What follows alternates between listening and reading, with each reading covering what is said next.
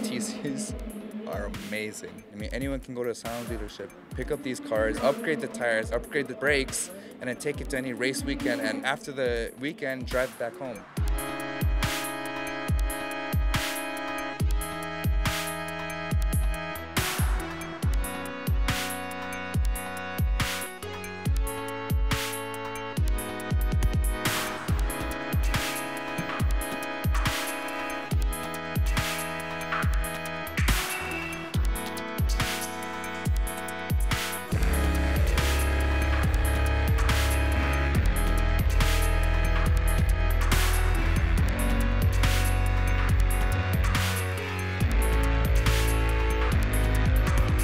I feel like anyone can go out to a dealership, pick one of these up, and pretty much bring it to the track, right? They could drive off the lot like this. You know, I'm really surprised because I've been kicking the crap out of this thing all day.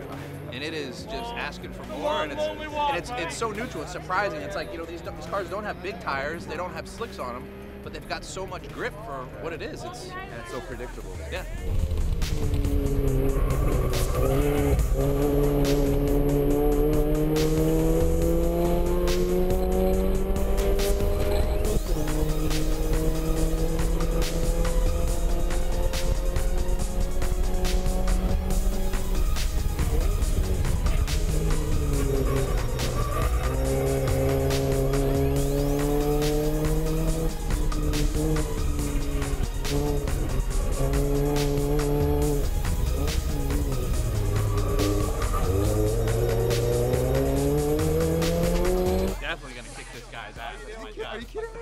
I'm definitely I'm gonna the younger smoke one. this. I'm lighter than you. That's all right, but I actually try to go fast. You're gonna be sliding around the corners while I'm like, oh Ken, sorry, slide. Yeah, that's the thing. I had a habit of grabbing the emergency brake as I was going through turn No, you didn't. I did, and I had to remind myself, no way, I am not gonna drift this turn right now. See, see, that's his. That's gonna be his only It's problem. It's more natural for me to go sideways. I, and it's only natural for me to try to go as fast as possible.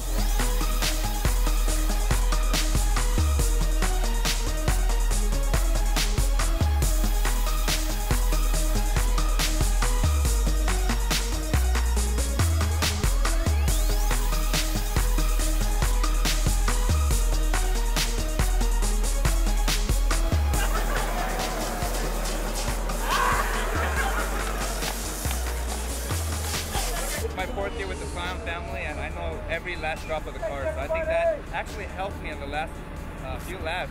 I was very comfortable with the car. The car's very easy to drive.